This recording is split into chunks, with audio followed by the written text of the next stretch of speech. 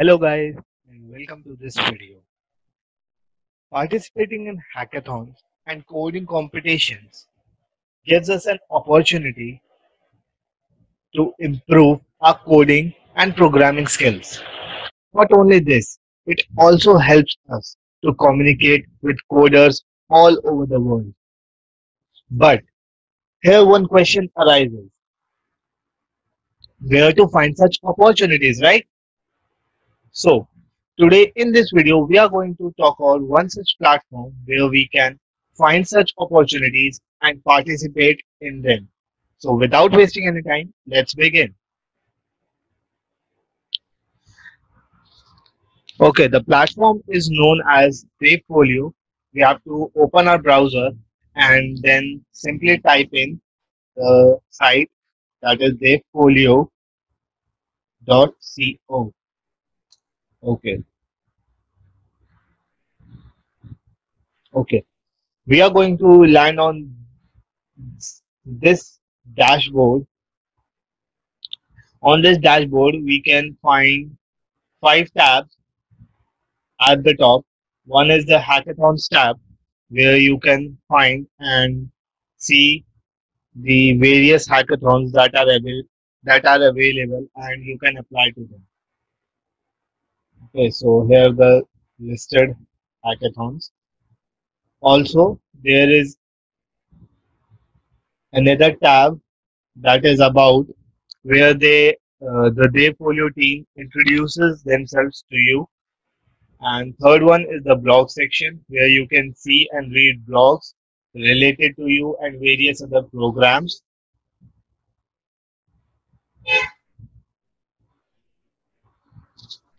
Also, there is an option to organize a hackathon where you can organize your own hackathon, maybe from the side of your college or maybe your coding community as per your choice. And last is the sign in option. Before applying to the hackathons, we have to remember that we have to sign in. So let's click on this button. Okay. So here we have an option. If you don't have an account, please visit this link below. Cre- uh, don't have an account, create one here. So we will be clicking on this link and we will be creating our account if we don't have an account for Devfolio. Since I'm having my account, I'm going to show you the login process. Here is my Gmail, that is astronomer206, and the password. Okay, we are signed in. Okay, here's the dashboard. We are uh, where you guys are gonna land. So uh, since my all profile is complete, when uh, you are going to first open this site and create your login, you will be landing on the profile page. Here in the profile, you must remember your profile should look professional as it will be seen by the various organizers of the hackathon. So at the very first page, you have some basic information that consists of your name, last name, your gender, and the t-shirt size. T-shirt size is just that in some hackathons there are merchandises that are that are offered. That may be t-shirt, cups, or water bottles, etc., etc. So for t-shirt size, you have to give your t-shirt size on the platform. You can also add into your bio, like you add into your Instagram and WhatsApp, but to be precise here, it should be a professional bio. Second tab, you will see of the education tab where you can enter all your educational details. Uh, third tab will be of the experience where you can enter all your experiences, your languages, you know, your resume, etc. Fourth one will be the links to the other profiles. For example, GitHub, LinkedIn, Facebook, and HackerUp. So here I have put in four. You can also add in more if you have any, or you can just skip this section if you don't want to add your profiles. And last but not the least will be the contact where you will be having your personal contact and an emergency contact number. Let's say I'm taking part in Reva. So just click on participate. Uh, again, understood? Let's do it. Here it says my application is 100% complete. So I don't need to do anything and just have to click on the submit application button. Okay, here we can see four tabs. The timeline tab where it describes all the timelines, the start, when the hackathon starts, when the hackathon ends, and the announcement of the results date. Second tab will be of the announcement where the organizers of the hackathon will be making certain announcements that the participants needs to follow. Third tab will be of the prizes where all kinds of prizes will be displayed to you. What are the opportunities to the participants? And last is the overview tab where you can see the organizer's website and other social media handles. Also, there's an option where you can either submit a project in solo, like as it has been clicked here by default. So here you have you are the single one who will be creating the project and submitting. The second option will be of submitting in team where you can create your team. For that, just click on submitting in team. You have to enter your team name. For example, my team name is Karma, So I'm going to enter that name and just click on create teams option.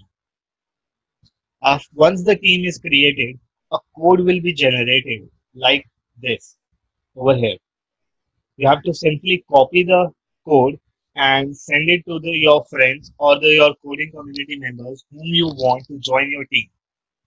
Okay, once, so what they have to do, they have to follow the same procedure. They have to log into their Devfolio account, enter the team name as BitKarma, and then your code over here that you send to them. Once this is done, all your team members will be showed up here. Here we have a limit of four. So beside you, other three can join. So you are the deciding person whom you want to get in your team. Once the team is created and the project submission starts, that is the hackathon starting date. Like here it is on 4th November. So on 4th November, this tab submitting project for submit project for judging will be active on that date. And you can just click on add projects and start adding your projects over here. Okay. Next on the top we have another badge that tab called the badges tab where you can earn badges. Here you have to only attempt two quizzes related to front end and back end to earn your badges and showcase it to your friends next is the projects tab where you can see all your projects you have submitted till date.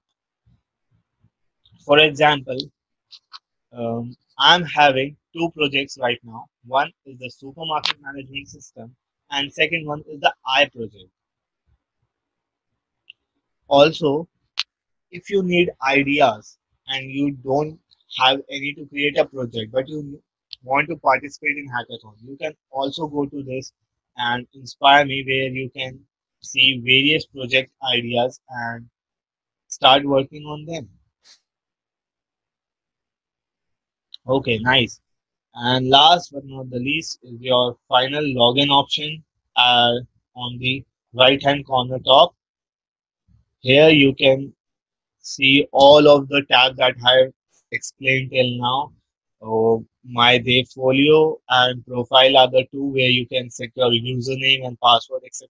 And others I have already explained. The hackathons tab, badges, projects, organize a hackathon, settings, and last the logout. You need to log out.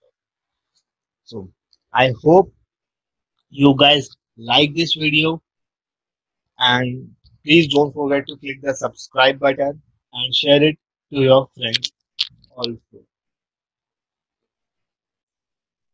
At the end, I would like to say to know more and explore, you can go and create your account on Devfolio and start hacking. So,